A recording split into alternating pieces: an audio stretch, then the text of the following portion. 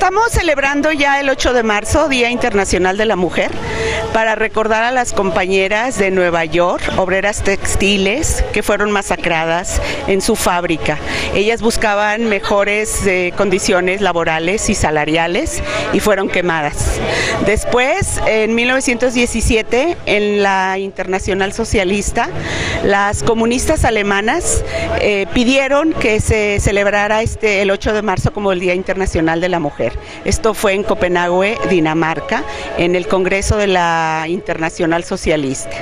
A partir de ese día, el movimiento feminista internacional busca y exige igualdad de derechos, igualdad de oportunidades. En México, un mundo en paz, sin violencia. Y en este día especialmente estamos haciendo una ofrenda de solidaridad con las madres de los 43 desaparecidos de Ayotzinapa. Es un evento que nos llena de indignación, de coraje, de tristeza. No deben de pasar estas cosas. Cinco meses después no, no sabemos quién está en la cárcel, ya cayó un procurador, pero no, la impunidad sigue reinando en el país y las mujeres de Durango, el grupo Mujeres, nos solidarizamos con esas 43 madres de los desaparecidos de Ayotzinapa. ¿Hay algo que celebrar este 8 de marzo? No, no hay nada que celebrar, es un día de lucha.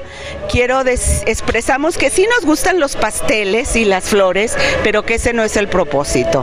Este es un día de lucha de las mujeres de izquierda, de avanzada, del, del movimiento internacional y en Durango también existimos.